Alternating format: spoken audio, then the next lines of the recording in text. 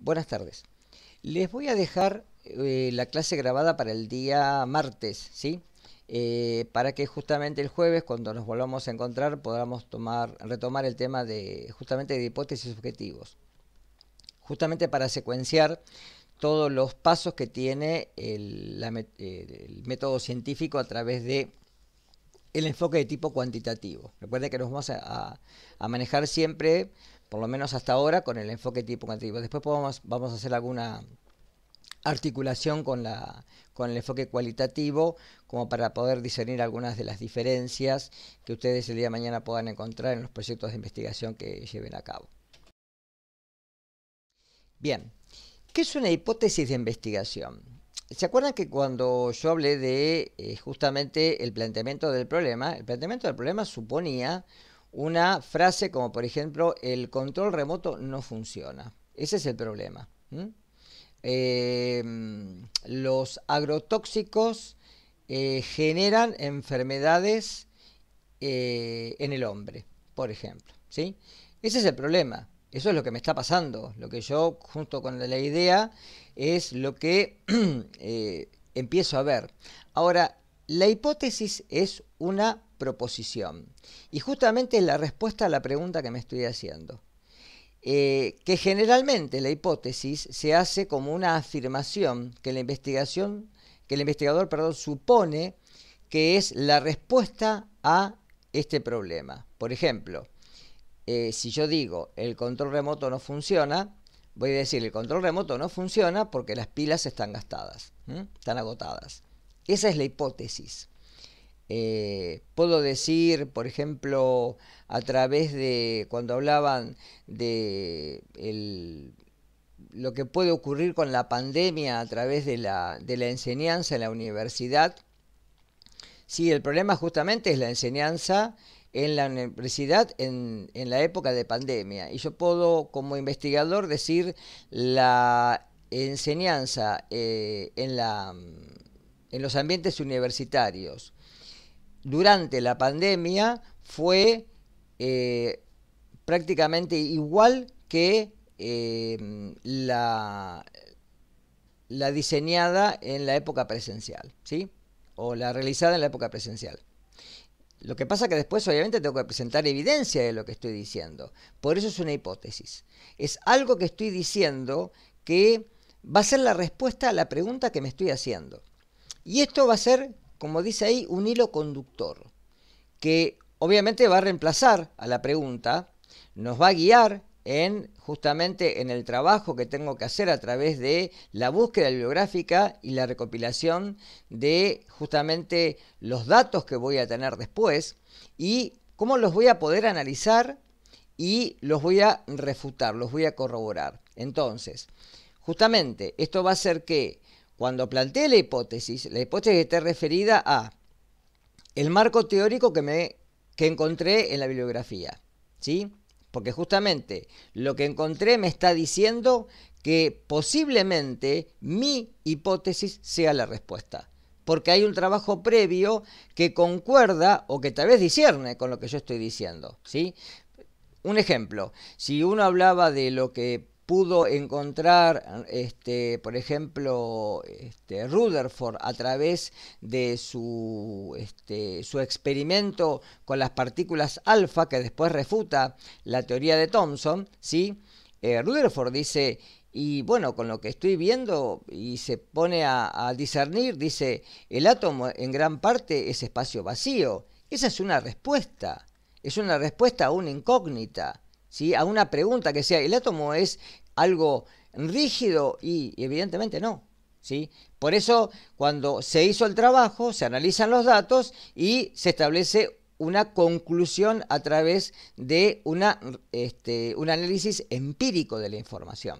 De ahí que justamente la hipótesis pueda corregir trabajos que ya se han hecho, puede dar una luz mucho más, eh, puede alumbrar mejor el conocimiento, es decir, dar nuevos nuevos eslabones que puedan enlazar ¿sí? algo que de alguna manera no tenía ¿sí? una concordancia, que faltaba algo para poder discernir si esa, esa teoría, esa ley o esa, o esa aseveración era cierta o no. ¿sí? Y en realidad uno puede tener más de una hipótesis. Generalmente vamos a ver que uno, el investigador puede plantear más de una hipótesis y vamos a ver que hay, por ejemplo, trabajos en los cuales las hipótesis pueden ser nulas o alternativas. Algo deben haber visto en estadística y lo vamos a refrescar acá. ¿sí? Por eso que eh, las hipótesis no necesariamente son verdaderas, ¿sí? Y se tiene que comprobar con hechos. Yo puedo decir, en Marte hay vida, pero lo estoy suponiendo. Para poder decir que en Marte hay vida, tengo que viajar hasta Marte o tengo que enviar una sonda y de ahí puedo, sí, con muestras que vuelvan a la Tierra, explorarlas y puedo decir si verdaderamente encontré, por ejemplo, bacterias que son similares a las arqueobacterias que encuentro en la Tierra, ¿sí? O de, por ejemplo, unas características similares, pero tienen vida, son bacterias, ¿sí? Por eso que deben ser comprobadas en forma empírica, se deben ser verificadas. Y además, eh, fíjense que acá dice que la búsqueda biográfica es algo que tiene que ser un requisito anterior a formular la hipótesis. Esto como si ustedes, por ejemplo, el día de mañana eh, quisieran aseverar algo, pero tienen que tener algo que les dé por un eh, un marco teórico. O sea, si ustedes, por ejemplo, no sé, qué sé yo, el día de mañana están leyendo sobre energía nuclear. Sí, todos conocemos que hay energía nuclear, pero si yo quisiera ver cómo se genera la energía nuclear, quisiera poder hacer un relato de la energía nuclear, tengo que buscar biografía, tengo que poder estudiar el campo de la investigación previa para poder fundar una base sobre lo que estoy afirmando. Y generalmente las hipótesis van acompañadas de esto, definiciones conceptuales, y que pueden estar ¿sí? en forma operacional contenidas dentro de la hipótesis y uno puede extractar de estas hipótesis estas eh, aseveraciones que son las respuestas a las preguntas que se hizo el investigador. Con lo cual, fíjense que una hipótesis de investigación es una explicación tentativa. Por eso siempre va a apuntar a una probabilidad de que ese fenómeno, ¿sí? o ese enunciado, o esa proposición, o esa afirmación sea verdadera. O que también puede apuntar que lo que se dice no es correcto. Es decir, eh, una vez se pregunta, todos los trabajos que uno hace como trabajo de investigación tienen que llegar a una conclusión que responda de alguna manera a las, a las hipótesis que uno se formuló. Muchas veces no. Muchas veces uno puede generar hipótesis y después cuando termina el trabajo decir no, pero lo que yo en realidad estaba suponiendo como una hipótesis verdadera, en realidad era falsa. ¿sí? Y además recuerden que esto es provisional. ¿Por qué es provisional? Fundamentalmente porque la ciencia en el conocimiento científico es siempre provisional y está, y está siempre eh, arriesgando cosas que son verdaderas hasta que obviamente se demuestre que no lo son. ¿sí?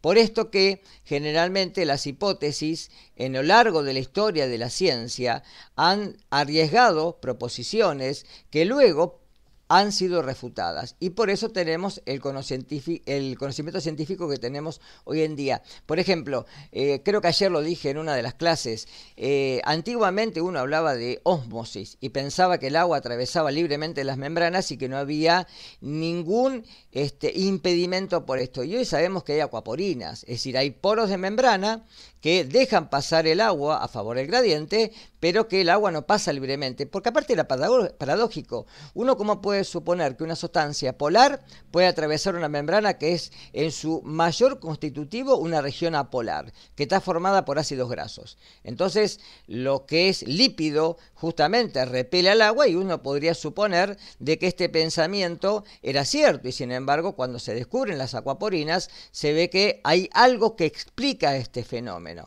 Por eso que es provisional el conocimiento en sí. Fíjense que además las hipótesis derivan directamente del planteamiento del problema. por eso son las respuestas tienen que tener en una relación entre la teoría y la práctica, porque además generalmente, y ayer lo mencioné, la ciencia no se basa solamente en el conocimiento teórico, sino que también se puede, generalmente, y se hace, se lleva al ambiente práctico. Es decir, por ejemplo, cómo la biología molecular, molecular después termina siendo hoy en día la biotecnología, que es lo que ha provisto en el mundo científico y en el campo de la medicina, grande, el campo de la medicina grandes este, avances. ¿sí? Además, obviamente, se van a limitar cuando eh, estas relaciones no se puedan verificar en otro estudio. ¿sí? Por eso que lo que estoy diciendo, que el conocimiento es provisional. Además, Piensen que tenemos que tener un marco teórico previo, que es lo que me va a llevar a formular las hipótesis, porque sobre la lectura, esto en el Sampieri lo dice muy claramente, cuando uno quiere hacer una pieza musical, ¿sí? a pesar de que la pieza, eh, por ejemplo, si yo hago una balada o, una, o un, este, un tema de rock o un pop, por ejemplo, siempre tengo algo que me va a hacer de base, sin entrar en el plagio, obviamente, ¿sí? algo que me va a hacer de base y donde yo busque información de cómo es, por ejemplo, el ritmo del rock, que es el ritmo de 4x4, o el ritmo de blues, que tiene un ritmo de 6, por ejemplo, ¿sí? que es distinto, o el de jazz, que es de 3. Entonces, dependiendo de eso, voy a armar la partitura y voy a armar, la, en este caso, la composición musical. ¿sí? Y además, obviamente, tienen que tener una relación que esté dado justamente en esto de que estos conceptos no tienen que estar basados en prejuicios, si eso es fundamental, y en principios que no caigan en una normativa que sí este, esté en contra de la bioética, de los principios de beneficencia y no maleficencia. ¿sí? Pueden quedar además, obviamente, partes de la información que estén truncados, que no estén sí, este, definidos por la investigación que el investigador lleva a cabo y que obviamente, como les dije en la clase anterior, puedan dar esta esta, esta, nueva ruta, este nuevo camino a investigaciones futuras. Si en muchos, en muchos de los trabajos de investigación, ustedes van a ver que cuando uno termina un trabajo de investigación, siempre queda, o casi siempre queda, algo por resolver. Y eso es lo que, a pesar de que no esté implícito en la discusión, eso es lo que me deja a mí la, la idea o lo que me da el pensamiento para seguir investigando. Y es justamente el motor que promueve el investigador para seguir la investigación. ¿Qué tipo de hipótesis podemos manejar? Cuando hablamos de hipótesis, generalmente hablamos de la hipótesis de, investigación, que son estas proposiciones que les describía recién. Dentro de este campo, dentro de este campo, tenemos que hablar que estas proposiciones dan una posible relación entre variables. Ahora me voy a meter en este terreno para refrescar lo que vieron en estadística, ¿sí? Y justamente estas variables van a hacer que si dependiendo del tipo de investigación que se haga, si uno aplica una estrategia en el conocimiento, en el trabajo de tipo cuando hablamos del enfoque cuantitativo, recuerden que siempre decíamos que la estadística es la herramienta eh, que nos daba la, la, certeza de poder discernir entre que lo que hicimos está bien o está mal, si es verdadero o es falso. ¿sí? Con lo cual, también podemos tener hipótesis que sean nulas, que son proposiciones que niegan o refutan la relación entre estas variables, ¿sí?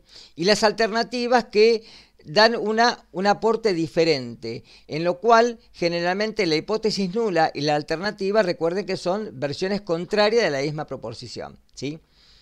Yo puedo decir el martes llueve o el martes no llueve. Si digo el martes llueve, sí estoy aseverando y si digo que no llueve, lo estoy negando. Con lo cual son siempre antagonistas. ¿sí? Dentro de esto vamos a ver que las hipótesis también se basan en poder ser descriptivas, es decir, tener una descripción de cierto valor que se puede pronosticar.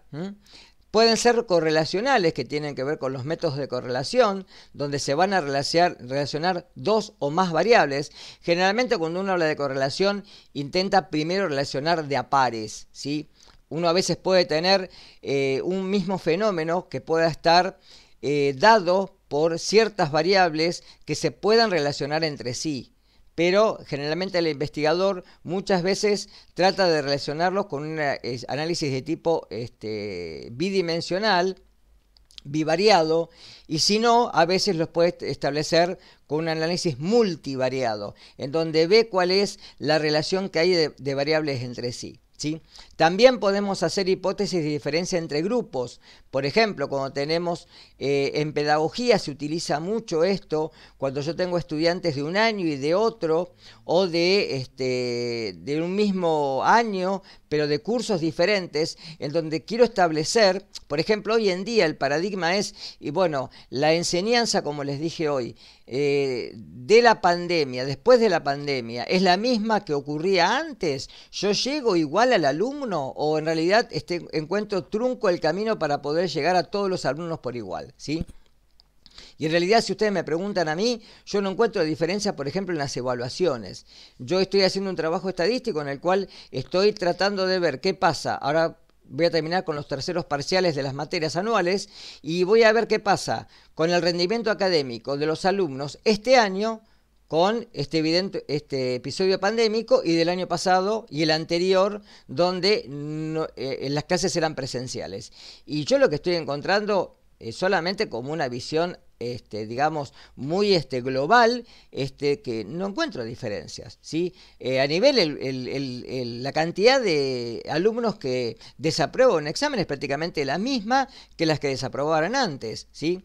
Con la misma metodología, porque muchas materias ya estaban dadas en plataforma. Ya había una semi-virtualidad de las asignaturas, que muchos docentes adoptamos eh, y eh, en gran momento que las adoptamos y con mucha certeza porque este año si no hubiera sido un mayor esfuerzo. Sí, fue un esfuerzo igual, pero esto nos allanó el camino.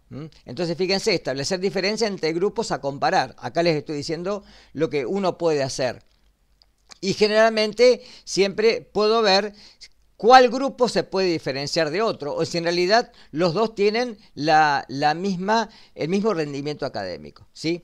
Y las causales, que son muy importantes, porque lo que van a establecer justamente es la relación entre causa y efecto. Esto es muy importante. ¿Por qué? Porque se utiliza muchísimo en medicina la relación entre la causa y el efecto. ¿Cuál es primero? Si yo puedo establecer a través de una causa, cuál es el efecto que produce vacunación, por ejemplo, una nueva droga en el mercado. ¿Sí? Por ejemplo, un antiarrítmico, ¿sí? Yo le doy a un paciente un medicamento y cuál es el efecto que le produce. O al revés, si yo evalúo el efecto, por ejemplo, eh, en este caso puedo evaluar cuáles son los pormenores que, que, ocurren en la pandemia en relación al estrés del individuo con la fase 1, por ejemplo. ¿sí? Entonces yo puedo evaluar qué está ocurriendo, pero ¿cuál fue la causa? Yo estoy evaluando el efecto ahora. ¿La causa cuál fue? Y bueno, la causa fueron, por ejemplo, la fase 1, el encierro, etc. Entonces evalúo si la causa, ¿sí? Evalúo el efecto o al revés, si a partir del efecto esa fue la causa o fue otra. Y de ahí que uno también puede establecer relaciones de tipo, vamos a ver, explicativo, donde las variables que estoy viendo, si una es dependiente y la otra es independiente. Recuerdo que esto se vio en estadística cuando una, uno maneja la variable, el investigador maneja la variable, que esa variable es independiente. La otra que responde a la variable, sí, se denomina variable dependiente porque depende de esta. Por ejemplo, una curva de calibración con una regresión ajustada es el típico modelo de regresión en el cual la variable independiente es la concentración que manejo y la dependiente es la absorbancia, por ejemplo, ¿sí? Y obviamente las variables estadísticas, las hipótesis estadísticas, perdón, que generalmente son las que uno puede manejar a través de distintos test estadísticos como la estimación, obviamente la, inferencia estadística es la primera, ¿sí? cuando quiere, uno quiere estimar la media, la varianza, etcétera o la correlación, como vimos anteriormente, y también los test que se pueden dar para diferencias de medias, ¿sí? donde la hipótesis me dice que esta población puede tener una media igual a la otra o mayor o menor, diferentes test para diferentes momentos y diferentes tipos de grupos y de lo que quiera analizar. Bien, tipos de hipótesis. Tenemos, como vimos recién, hipótesis descriptivas, hipótesis correlacionales de diferencias de grupos o causales. Acá les explica lo mismo que les acabo de decir recién. Lo más importante, ¿sí? después que bueno, que lean el texto, es que los tipos de estudios ¿sí? Eh, que no pueden establecer hipótesis, vamos a ver que son los exploratorios. Porque justamente no tengo normalmente algo con lo cual basarme porque son estudios que van a iniciarse a través de una investigación en la cual prácticamente no hay antecedentes o los antecedentes no son congruentes con lo que el investigador se plantea en el problema. Bien. Ahí tienen, por ejemplo, ¿sí? algunos ejemplos que les puse yo. Descriptiva. La expectativa de lograr una beca de investigación para el doctorado en los egresados de la Facultad de Ciencias Naturales de la Universidad Nacional de Mar del Plata, en CONICET es del 43%. Estoy solamente describiendo, describo un fenómeno, nada más. No estoy haciendo ningún análisis ni comparación, solamente describo algo que está pasando. ¿sí? Correlacional, a mayor índice de masa corporal, que bueno, si no lo saben después eh, pregúntenme, índice de masa eh, índice de masa corporal, estoy cansado chicos, perdónenme. Este, se calcula a través de lo que uno estima como este, lo que el individuo tiene en relación a su masa corporal y a la talla al peso y a la talla y a la al peso y a la talla ¿sí? es un cociente que se hace y hay ciertos valores que me pueden decir que el individuo está desnutrido que tiene normopeso o sea que está bien que puede ser por ejemplo estar con sobrepeso obesidad y hay ciertos ¿sí? Eh, grados de obesidad que puede llegar hasta obesidad mórbida entonces el índice de masa corporal ¿sí? me está diciendo que a mayor es el riesgo de accidentes cardiovasculares cuanto mayor es la masa corporal. ¿sí? La generación de ateromas. Ateromas son estos, eh, e, e, estas capas de grasa que se forman, generalmente acúmulos de lípidos que se forman en las paredes de vasculares que pueden generar un infarto o un accidente cerebrovascular. Y hay una correlación entre una variable y la otra. ¿Cuál es una variable? Y una de las variables es el índice masa corporal. Y el otro, el riesgo de padecer accidentes cardiovasculares. Fíjense cómo acá uno lo trata de correlacionar. Obviamente, si encuentra una correlación positiva, también puede ser negativa en otro caso, a través de esto uno después puede establecer a través de esto un trabajo de índole, explicativo, en donde uno acá puede explicar y puede predecir, dar un pronóstico a través de esto. ¿sí? También de diferencia de grupos, por ejemplo, el tiempo en que se desarrolla SIDA, un individuo infectado por HIV es menor en los que han recibido transfusiones sanguíneas que lo que contraen por transfusión sexual. Acá estoy diciendo que un grupo va a tener una mayor probabilidad de tener el síndrome, a pesar de que los dos tengan el virus, ¿sí? porque fíjense que los dos son HIV positivos, pero el tiempo en el que desarrolla la inmunosupresión es mayor en los que Acá dice que es menor, pero puede tener al revés. Es mayor en los que de alguna manera lo hacen, lo han recibido, se han infectado por una transmisión por vía parenteral sexual, que los que han, lo han hecho por una vía eh, parenteral vía transfusión sanguínea. ¿De acuerdo? Acá estoy estableciendo diferencia entre grupos. O causales, por ejemplo, los fumadores tienen cuatro veces más riesgo de desarrollar cáncer de pulmón que los que no fuman. ¿sí? Estoy estableciendo una causa, estoy explicando. Lo mismo que les dije, que si yo encuentro una correlación positiva en una hipótesis de tipo correlacional, después puedo sugerir una hipótesis de tipo explicativa o causal. Dentro de lo que estamos, eh, nos estamos refiriendo a las hipótesis, fíjense que generalmente cuando uno estudia los métodos estadísticos surgen estas inquietudes. ¿sí? Fíjense que una hipótesis estadística eh, tiene, conlleva, obviamente, un método estadístico que va a referirse en la igualdad eh, o diferencia, ya sea o mayor o menor grado, de distintas poblaciones o muestras, ¿sí? que justamente lo que presumimos puede ser verdadero o puede ser falso. ¿sí? Normalmente esta contrastación se tiene que extraer a través de muestras porque es muy difícil poder acceder a la población salvo que la población esté referida a algún, este, algún ejemplo en el cual tengamos toda ¿sí? Toda la, todos los integrantes de esa población y los podamos estimar y someter a justamente a refutación. ¿sí? Y en esto tenemos que recordar, cuando ustedes vieron estadística, los términos hipótesis nula e hipótesis eh, alternativa. ¿sí? Generalmente la hipótesis nula es la que uno pone a, este, a, tratar de ser, este, en algún caso, este, rechazada, ¿no? Es decir, uno intenta rechazar la hipótesis nula y obviamente eh, implica una hipótesis que sea alternativa, es decir, algo en significado contrario, ¿sí? que sea la negación de la anterior, obviamente, que deba de ser aceptada. ¿sí? Ahora,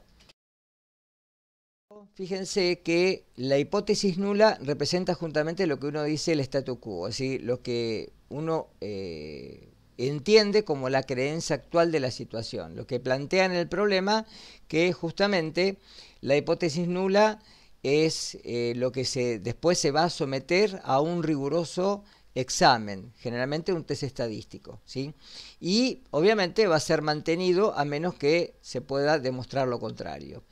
Normalmente lo que tratamos de hacer es obtener muestras, contrastarlas a través de test de hipótesis y ahí poder eh, justamente rechazar la hipótesis nula o en el caso como está ahí en la filmina, poder aceptar la eh, hipótesis alternativa, que generalmente uno entiende que la hipótesis alternativa es la hipótesis que intenta eh, afirmar el investigador, ¿sí? Y Obviamente, si no se puede rechazar, si no se puede rechazar, ¿sí? este, la hipótesis nula, nos queda la hipótesis alternativa. Ustedes recuerden cuando vieron estadística que hay errores de tipo alfa y de tipo beta que dicen qué pasa si uno rechaza la hipótesis nula cuando esta es verdadera o cuando uno acepta la hipótesis alternativa cuando esta es, es falsa. ¿sí? Esto, hay que tener mucho cuidado con esto. Por eso generalmente uno intenta a través de los test estadísticos eh, someterlos ante una probabilidad que se llama p-valor y esto generalmente lo establece con un 95 o un 99% de confianza, así con un alfa de 0,05 o un alfa de 0,01. ¿sí? Es decir, que la hipótesis nula y la hipótesis alternativa obviamente son contrapuestas, ¿sí? Dicen o predicen lo contrario, afirman lo contrario. Ahora, en esto, también, como resumen, la hipótesis nula es la que se pone a contrastación, es la afirmación que uno supone que debe contrastar. Por ejemplo, los ingresos de los estudiantes de cuarto año son los que este, uno supone que son bajos y por eso hay deserción este, en las universidades. ¿sí? O uno puede suponer que esos datos a veces no son congruentes para poder determinar que, este, que esto es necesario, con lo cual uno podría directamente este, adoptar la hipótesis alternativa. ¿sí? Los datos obviamente son los que van a refutar la información de la hipótesis nula y, ojo, no debe de ser rechazada sin una buena razón. Por eso tiene que establecer límites de confianza, lo mismo que la hipótesis alternativa.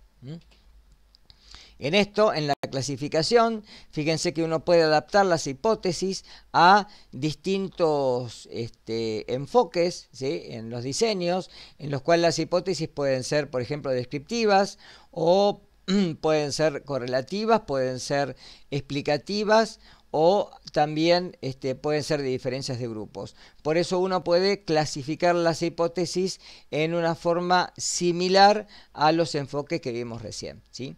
Y además la hipótesis alternativa justamente ofrece un tratamiento totalmente opuesto a la hipótesis nula. De ahí que justamente va a constituir una, este, una estrategia adicional para que si la hipótesis nula la tengo que rechazar, bueno, voy a adaptar la hipótesis.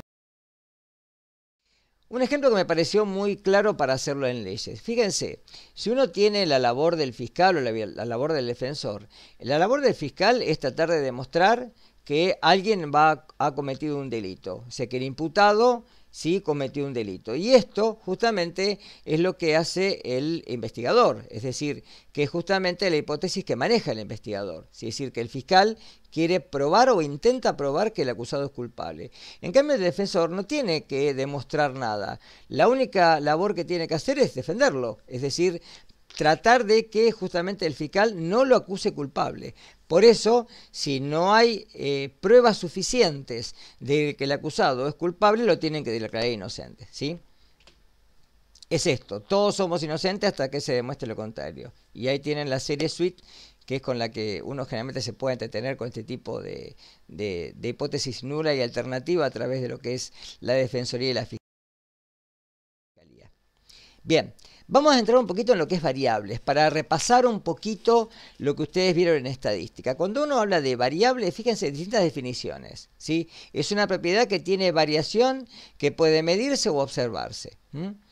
Es un conjunto de propiedades o facultades, ¿sí? cualidades y características que son observables en las unidades de análisis. Otro autor dice, nos indican que los objetos o cosas tienen la capacidad de modificar su estado actual. Es decir, una variable es cualquier característica, cualquier condición o atributo que se pueda medir, que uno lo pueda de alguna manera determinar a través de la unidad de estudio. ¿sí?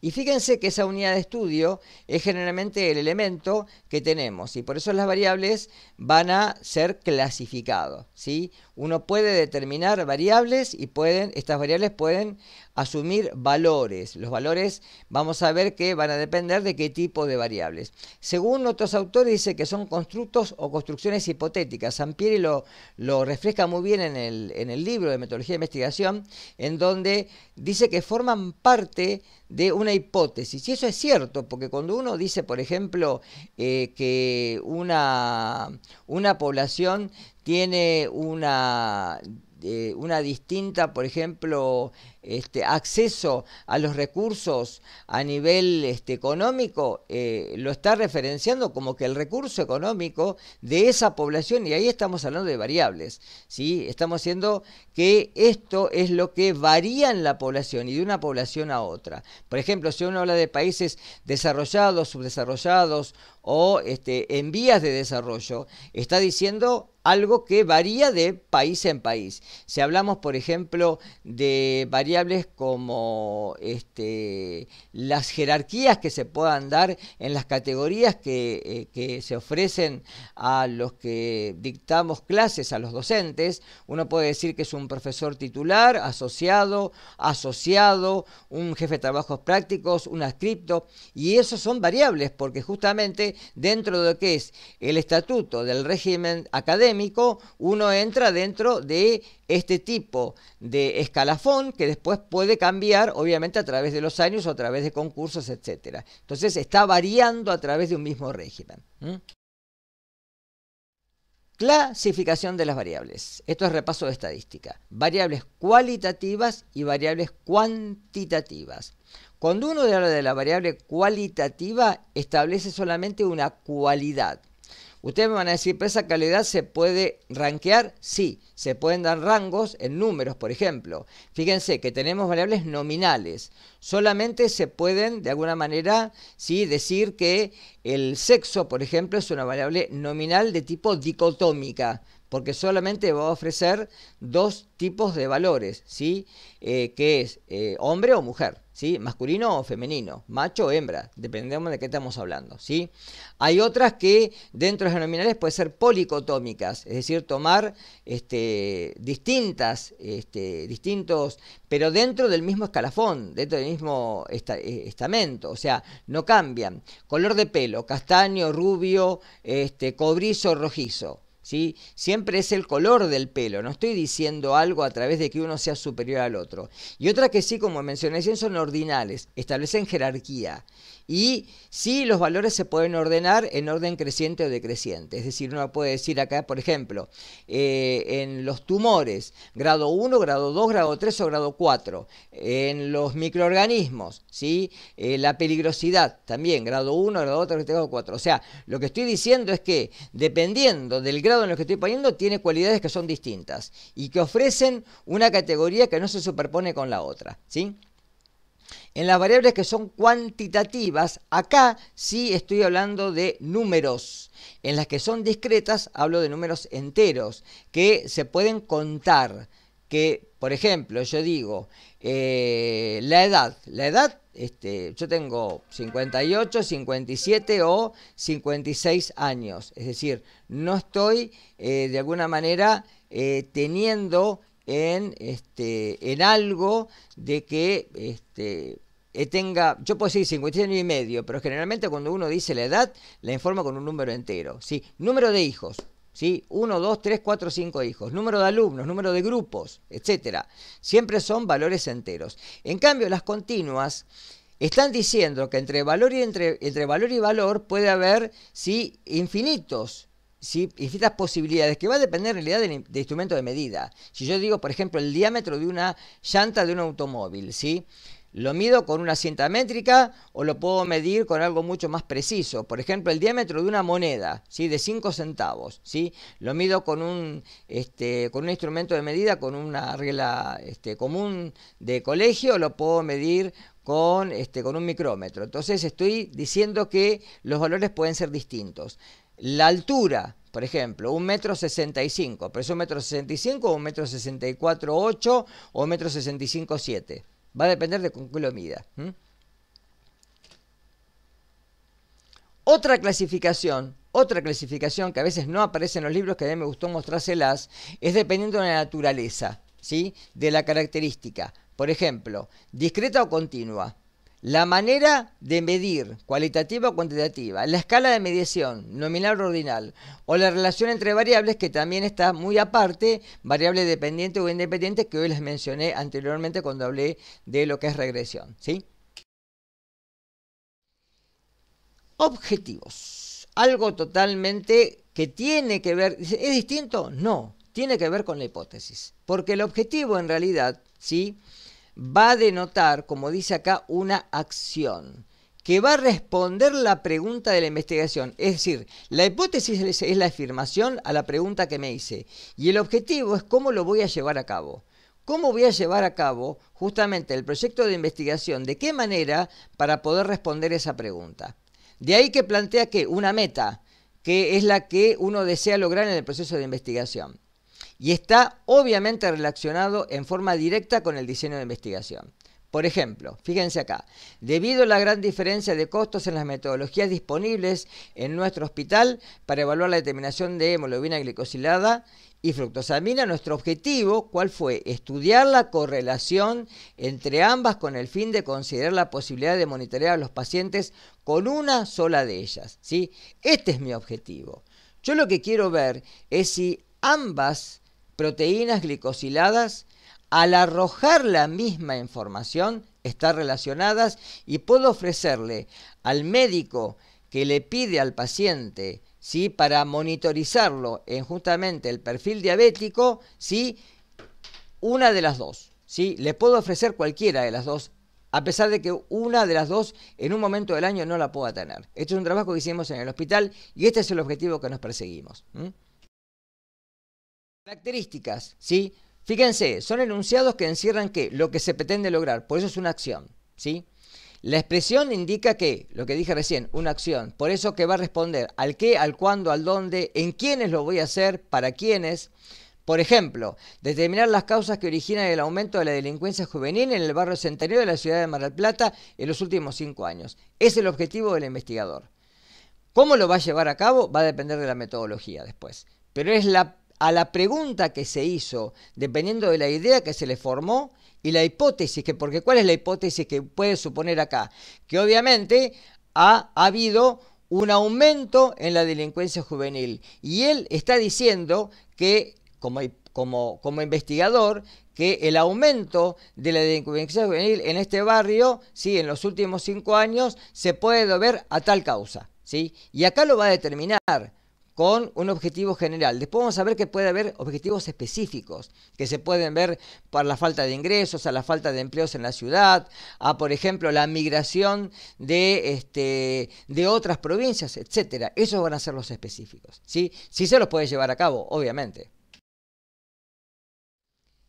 Características, ¿sí? Fíjense, están directamente concatenados, relacionados con qué? Con el título, con el problema y con la hipótesis. Tienen que responder. Cuando ustedes lean en los trabajos, el objetivo van a ver que responde directamente al título. ¿sí? Y justamente, como responde al título, es de alguna manera, está planteado en el problema y está sí, este, afirmado en, que, en la hipótesis, porque la hipótesis recuerden que siempre está dado en un texto ¿sí? formulado en forma afirmativa. Esto es lo que está pasando. ¿sí? Deben ser de alguna manera subjetivos y alcanzarse, porque no me sirve de nada plantearme un objetivo si no lo puedo alcanzar. Como dijimos, por ejemplo, determinar la vida en Marte. Si no lo puedo alcanzar, no tiene sentido formularme un objetivo. Son guías de estudio, como ya mencionamos, y siempre, ahí lo puse mal, es desarrollo, perdón, después lo corrijo en el PowerPoint, ¿sí? en el desarrollo, la investigación, se tienen que estar presentes. Por eso es una guía, es como si ustedes, por ejemplo, estuvieran leyendo un libro y voy al índice para ver en qué capítulo voy a encontrar tal información. ¿sí? Además, determina algo importante, límites y amplitud de estudio. ¿Por qué? Porque justamente si eh, alguien preguntó si, y yo lo vuelvo a mencionar, si los objetivos se pueden reformular y se pueden agregar. Obviamente, porque los objetivos que son, vamos a ver ahora, que no, no el general, sino los específicos, se pueden agregar a medida que yo voy encontrando nueva información. Que esto está más allá, ¿sí? fíjense, y está muy abocado al estudio de tipo cualitativo, al enfoque cualitativo. ¿sí? Van a colaborar justamente a definir etapas en las cuales se va a requerir obtener información a través del estudio. ¿sí? Nos van a situar dentro de lo que es el contexto general y fundamentalmente la biografía que obtuvimos y me van a ayudar a visualizar justamente cuál es la interacción en las variables, si están relacionados o no, si la variable dependiente justamente responde a la variable independiente o si lo que estoy describiendo en el contexto de la información es congruente con lo que observo a través de lo que voy recabando como datos. Tipo de objetivos, como dije recién, general y específicos. El general brinda la dirección de la investigación y es el que generalmente sí me evoca a el, digamos, a todo lo que es el bosque, a ver toda la información. Y el específico justamente me va a estructurar las fases. Es la guía para ver cuáles son las fases. Acá, ojo, eh, esto es muy común que uno lo haga en los planes de este, de docencia. Cuando uno planifica una materia, primero genera un objetivo de tipo general, ¿sí? O principal, que es lo mismo. Que es, por ejemplo, eh, que los alumnos aprendan o puedan eh, obtener herramientas de química general inorgánica. Ese es el general. El específico después va a ser que, dependiendo, por ejemplo, de la metodología que tenga, si es una metodología de simulación, si es basada en problemas, si es basada en, por ejemplo, seminarios, si puede ser basada en interacciones como debate, es cómo voy a llevar a cabo que el objetivo general sí se cumpla. Pero el específico es las fases con la cual yo puedo llegar a poder sí, brindar que el objetivo eh, general se lleve a cabo en toda su amplitud y toda su, este, su, todo su esplendor, si uno lo quiere decir. Acá tiene un trabajo del hospital materno, por ejemplo. Objetivo principal, esto tiene que ver con la fase preanalítica para los que estudian bioquímica. Estudiar los errores preanalíticos en el laboratorio de guardia del Hospital Internacional Especializado Materno Infantil de la ciudad de Mar del Plata. Ese es el general. ¿Cómo lo voy a llevar a cabo? Específicos. Determinar la relación entre el número de errores administrativos, fíjense que es una de las etapas, ¿sí? y el número total de pacientes de estudio. Determinar la relación entre el número de errores técnicos, fíjense que ahora primero me fijé en los administrativos, ahora errores técnicos y el número total de muestras de pacientes internados. Analizar el número total de errores que se presentan en el porcentaje correspondiente a cada clase de uno de los anteriores. Determinar el porcentaje de pacientes que presentan al menos un error preanalítico. Identificar el número de pacientes con al menos un error preanalítico según el total de pacientes remitidos por cada sala. Por acá tenemos pacientes que vienen, que, que entran por guardia, perdón, de consultorio externo, que no tiene el mismo este, bagaje de tratamiento administrativo que, que viene, por ejemplo, de terapia intensiva. ¿Sí? que lo trae generalmente el médico o lo puede traer la enfermera. ¿sí? Determinar la distribución de errores según áreas analíticas, porque acá puedo tener, por ejemplo, errores que se puedan cometer en química clínica, en hematología, en medio interno, etcétera, que pueden derivar no errores solamente del laboratorio, o sea, errores de en, el tratamiento de la muestra o en el posicionamiento de la muestra, sino que como son preanalíticos, ¿sí? yo estoy trabajando, porque el preanalítico, ustedes recuerden, para los que hacen química, bueno, después si no lo explico en la clase, eh, van a llegar hasta cuándo, hasta cuando mido. Porque yo cuando, por ejemplo, centrifugo una muestra, ahí tengo también un error preanalítico. Si la centrifugación no es correcta, yo puedo tener un error preanalítico. Si hay una hemólisis, se puede deber no solamente a la extracción, sino también a un tratamiento preanalítico. ¿sí? No solamente tiene que ver con este con, lo que baja del piso, sino con lo que uno hace en el laboratorio. Está claro hasta acá decir que esto es muy importante que vean, en este ejemplo está muy claro cómo a través del objetivo principal o general se derivan los específicos. Y los específicos son los que me van a servir de guía. Son los que uno dice, bueno, ¿qué es lo que tengo que hacer? Por eso son acciones, hacer. ¿Acciones de qué?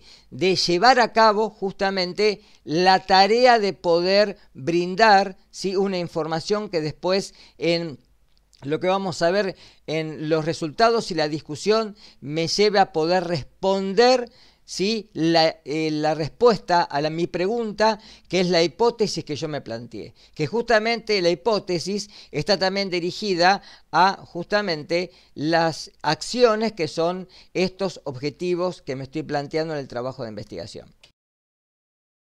Redacción de objetivos. Siempre, siempre deben de colaborar en responder al problema planteado. Siempre. Por eso son, de alguna manera, las acciones que me van a llevar la guía de poder responder a ese enunciado que yo me hice como enunciado de un problema supuesto que está ocurriendo en ese lugar, ¿sí? O en esa situación.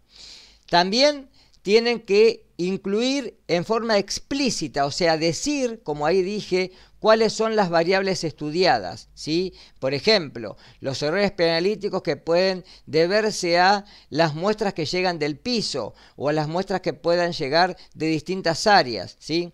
Deben ser claros y precisos, deben estar reformulados y releídos constantemente hasta poder decir, sí, este es el objetivo que me tengo que plantear. No se necesita cantidad, puede ser un específico solamente, no necesito tener muchos específicos, van a depender de la metodología y cómo la pueda desglosar, ¿sí? Y obviamente tienen que ser medidos, porque uno tiene que ofrecer la medición para poder responder esa acción.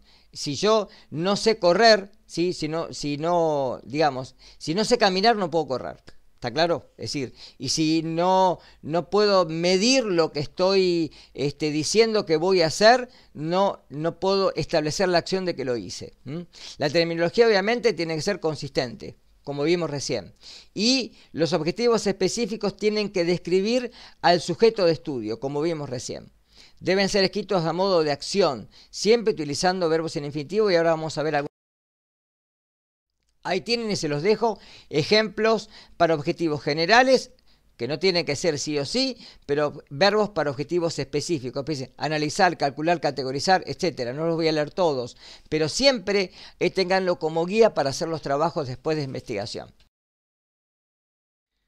Formulación según la taxonomía de Bloom. Esto lo encontré en un apartado en otro libro en el cual hablaba de niveles de complejidad. Por ejemplo, eh, a través del conocimiento, la comprensión, la aplicación, el análisis y la síntesis. ¿sí? Cada uno de estos tiene distintas categorías que las pueden utilizar también. Fíjense cómo está justamente, por ejemplo, en el conocimiento, se refiere al reconocimiento de información, ideas, hechos, fechas.